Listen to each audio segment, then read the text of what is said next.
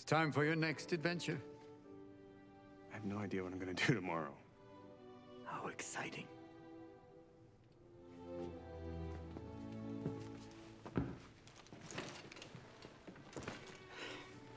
Bye, Teddy. Farewell, Lawrence.